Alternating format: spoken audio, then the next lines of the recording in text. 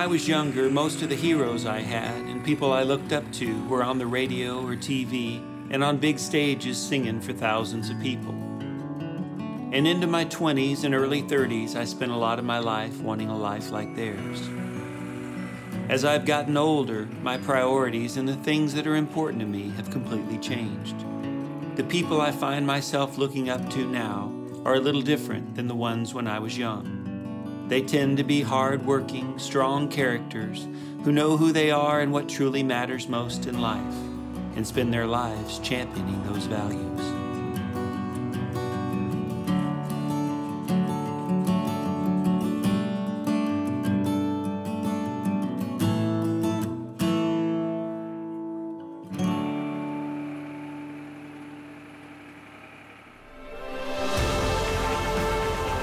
This is the unfolding story of the life we are building together as I try to make a difference and live each day like it's my last.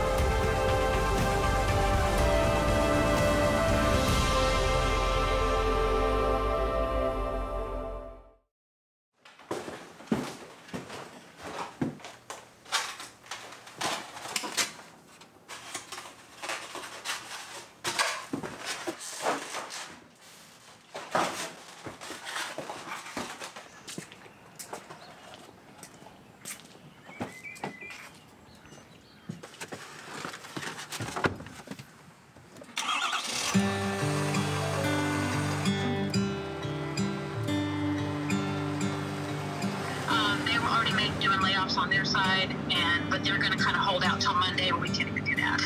Okay. Um, so anyway, just want to let you know. Sounds good. All right, we'll talk later. Love you. Bye. Talk to you later. With the coronavirus all over the news and so many uncertainties out there about the future, it's hard not to start thinking about where our food is coming from and what would happen if we were to suddenly run out. Not just in our fridges, but everywhere. At a time like this, a lot of things that we have all just taken for granted all these years have started to become hard to find. Things like meat and bread and eggs. No eggs. We'll meet you at the coffee shop in about 15 minutes. And this is not just affecting me and my family, it is also impacting our friends and community and the whole world right now. How are you guys? The things that we've taken for granted. Luckily, we have a number of local farms nearby who are less dependent on grocery stores and others to supply their food. So my buddies Chris and Matt and I took a ride out to see one of them. Kevin Kraus and his wife Mickey have 65 acres just outside of town. They are quick to tell you that they haven't always been farmers. He retired from the Air Force a half dozen years ago after learning about a farmer named Joel Salatin and his unusual growing methods. They decided to buy some land and make a go of it as homesteaders. Not just growing their own food, but also working to supply others in the community with some homegrown fresh options too. Good. No, we, we've had a little bit more business this week that we sell at the Columbia Health Store. So they were out everything. We had we ran in there yesterday with a big load of stuff, and uh, we've had a lot of customers coming out and looking for food to stock up. So. I do think it's reminded people that if you have a local supplier of something that that's important, you know, that it, it's um, just kind of a wake up call to all of us, I guess. That Part of the reason we moved out here, we had in the back of our mind, uh, you never know what can happen in the world, and if you're at least growing some of your own food, you won't go hungry. So that was part of our logic, and you know, we never, we're not doomsdayers or anything like that, but we, we do appreciate the fact that that is working for us. We've It's working. pretty self-sustaining out here. You're winning right now. On most Saturday mornings in the summer, Indy and I make the trek to our local farmers market, and that's where we first met Kevin and his wife. We typically do a couple batches a year. That- that's Eight weeks. Mm-hmm. We'll have them in the chicken tractors for about five weeks, and then I'll take them to processing. I just load them in the back of the stock trailer and I haul them up to a place in Kentucky. They process them for us. What are the different breeds you have here? So these could be any of these breeds, right? There'll be a mix of breeds, you betcha. What are the breeds? Uh, we've got some Barred Rocks, we've got some Cinnamon Queens, we've got some Golden Comets, we've got some Rhode Island Reds. The rooster themselves were hatched here on this farm, so they're already a mix of That's your babies I'm gonna take home, Mom. that okay?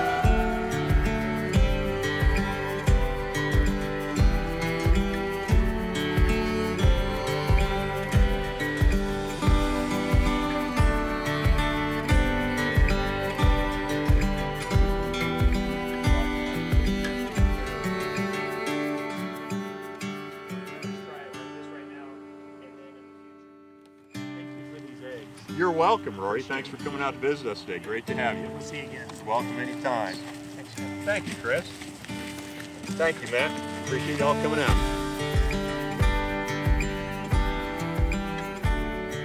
Thinking about all the uncertainty in the air and spending a little time at Kevin's farm today, I can't help but think about the trip we took this past fall to the National Homesteaders of America Conference in Virginia.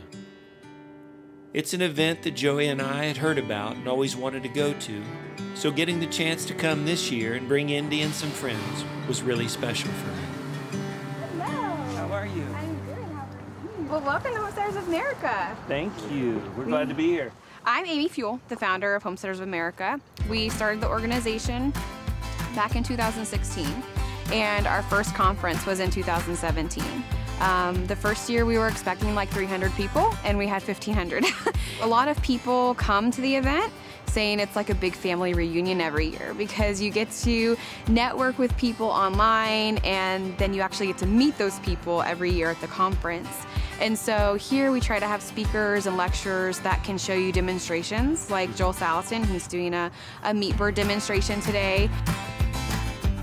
So we talk about all things homesteading, gardening, chicken keeping, hogs. What do you guys do exactly? We teach people how to uh, humanely slaughter and butcher and cure pigs at their homes. So we teach them how to make dry cured hams and bacon and sausage and all the good stuff.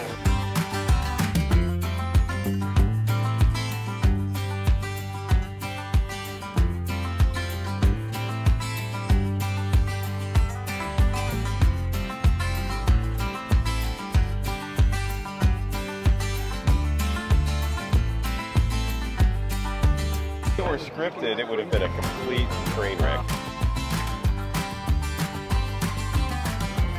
That does pretty good.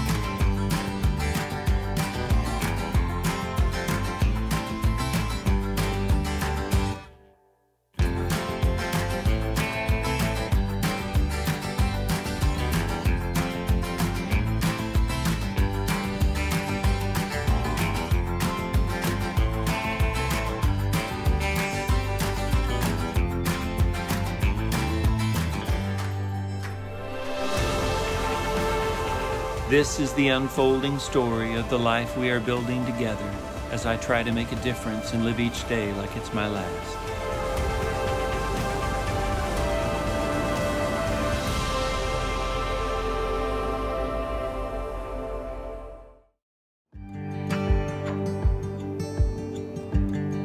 In 2014, just before Indiana was born, my wife and I had made plans to take the year off from music and stay home and homestead, to try to simplify our lives and plant deeper roots in the soil of our farm and community. Like our neighbor Kevin, one of Joey's and my biggest inspirations and heroes is a farmer named Joel Salatin. We came across his story and farm early in our marriage and have read most of his books and watched lots of his how to videos on YouTube over the years. Again, this is, this is two ounces of fat. That's 30 cents. Even the rough chicken shelters we made and used were exact replicas of the ones Joel uses on his farm. Is going to be put in action for today. Joey had always hoped to one day cross paths and get to meet Joel. And though it never happened, a year or two ago, out of the blue, I got an email from him, and since then, we have become good friends. This past October, he was the one who invited us to the Homesteaders event where he was the keynote speaker. Afterwards, we went back to his farm and spent the night and the next day together. I've got some buddies here from okay. back home. This is Gabe McCauley. Hello. Hi, Gabe. Good nice to meet, you. you. And Theron Hutton. Hey, Joel. Hi, Theron. Nice to meet you. Like me, they have farms and um, they grow gardens. They have some chickens. Chickens. Mm -hmm. uh, you have cows at your place? Uh, we've got a few cows. A few cows. And we've done some pigs in the past. Uh-huh. So got a few animals. But we're all kind of just wanting to learn a little bit more about how to uh-huh. do things better, so we'd love to have a tour. Yeah, I've got a tractor and some hay on a wagon. We can kind of flop down and take a nap as we go from stop to stop. Mm, okay. Perfect, let's go.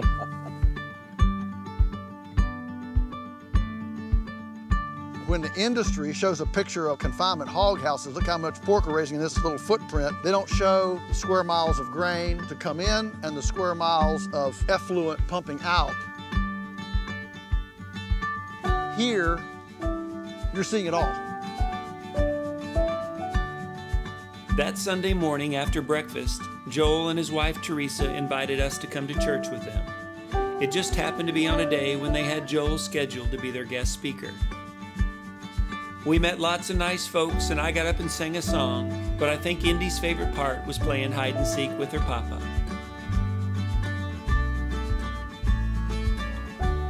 If you're focused on your problems, in my opinion, Joel was born to be a preacher, but not just in a normal church. Although his faith in God is very strong and a huge part of his life, Joel's pulpit is in the pasture and what he preaches about is the creatures and the life that comes from it. His congregation is all over the world. He speaks at hundreds of events to thousands of people who are hanging on every word he shares. And his new methods of farming, whether it's free range chicken, salad bar beef, or piggerators, can be challenging to folks who've done things a certain way for a long time. For farming to be sustainable in the future, we need to have younger people getting involved, staying on the farms, or choosing to move to or start one. And Joel has inspired a whole new generation of farmers and wannabe farmers all over the globe. The food system, the health system, the, the soil system, the water system. I mean, we have a lot of broken things on the planet right now. I mean, all of the trajectories are heading south. There's a Chinese proverb that says, if you keep going the way you're going, you're going to end up where you're headed. We're now birthing the first generation that is not expected to live as long as its parents.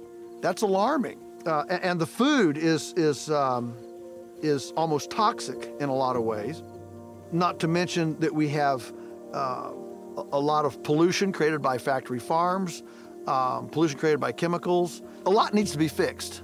And so our mission here is to show a credible alternative to the current chemical industrial based orthodoxy to a uh, you know a, a, a rat race of sickness and offer an abundance and a wellness a wellness ecologically physically economically um, and and that includes sacred work that that that is noble. Uh, that's not just, you know, putting in my time till I die, but actually creating righteous legacy vocations that are uh, th that are life affirming on a personal and a you know and a community and a, and a cultural level. So um, yeah, we're on a mission. Whatever the platform we get to uh, to speak and, and and inspire and encourage and challenge as necessary to uh, change the world, um, I'm on board. I mean, just yesterday I was at the Homesteaders of America conference. There were, what, 2,500 people there? It's very similar to the early homeschoolers of 35 years ago that, uh, that said, you know, enough, uh, the orthodoxy doesn't work, and we're going to go a different direction. Imagine, imagine the person um, 600 years, 700 years ago that dared to say, the earth is not flat, it's round. That was a weird person, uh, uh, you know, uh, that was a weird person.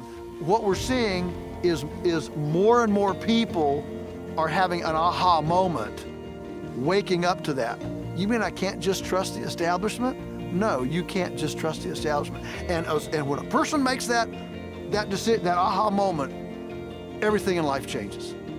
They start looking for different places to invest, different things to eat, different things to recreate for, different ways to educate their kids, different ways to interact with their community.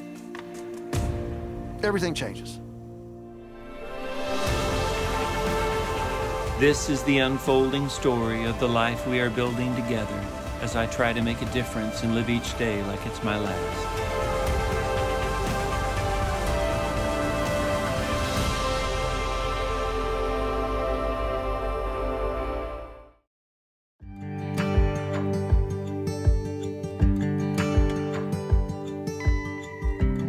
That Sunday evening, just as the sun started setting, friends and neighbors from all around showed up to a big dinner spread that Joel and his team put together. After dinner, in one of the hoop houses there on the farm, where they had brought in some hay bales, a little sound system, and even hung a chandelier, I shared a few songs, and Joel shared the story of how we met. The way this thing uh, developed, just so everybody gets a little bit of the backstory, um, maybe a year ago, one of our very loyal, wonderful customers, Claire, said, have you ever heard of a guy named Rory Feek? And uh, looked him up and said, boy, he's, he's really good.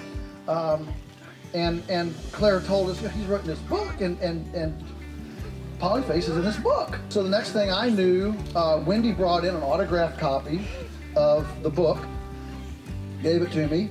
I opened the book at one o'clock. I didn't put it down until five, read straight through it, burned through it, and wet, the, the, the desk was wet with tears. Just powerful, profound, and wonderful. And I just said, you know, this guy has heart, and I need to pursue this relationship. That's how this developed, and um, so you are a part of that, and thank you for being our friends, our community, our neighbors, and for showing this level of support to, um, to Rory's heart and effort in, in, this, uh, in this evening. So without further ado, I'm going to turn it over to Rory and let him.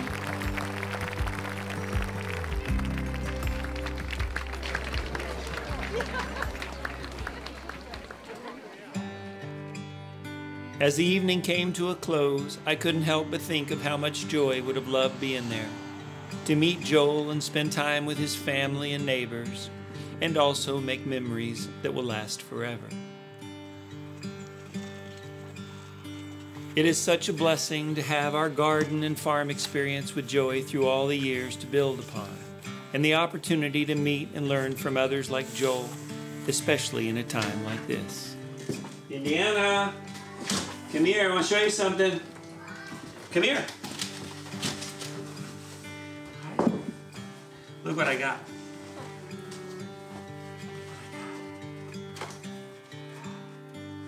What do you think we should do with these?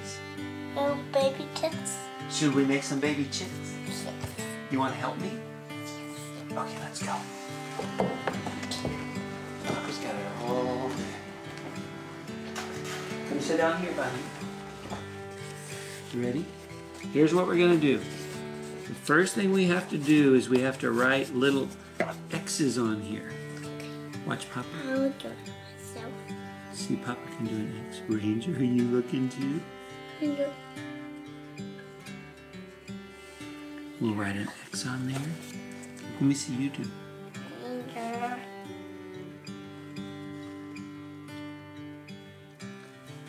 That's great. One, two, three, four, twelve. Twelve. Twelve eggs. Mm -hmm. You know what these are going to be? What? They're going to be baby chicks. And then when these baby chicks grow up, guess what they'll be? There'll be mama hens and they'll lay eggs for us and then we'll have lots of eggs. Won't that be nice? Yeah. Let's look at these together. This is just like a mama hen and she's moving her baby eggs around. I love to dance. Oh, you're gonna dance.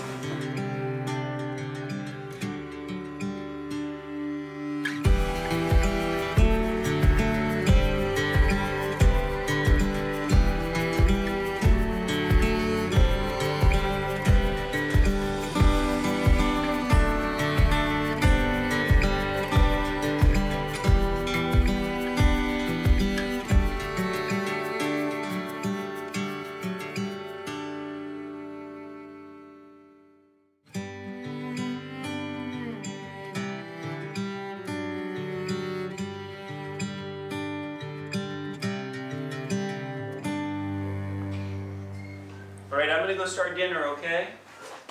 You did a good job, Indy Boone. Give me a smooch.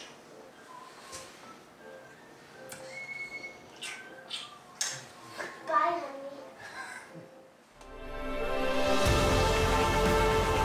This is the unfolding story of the life we are building together as I try to make a difference and live each day like it's my last.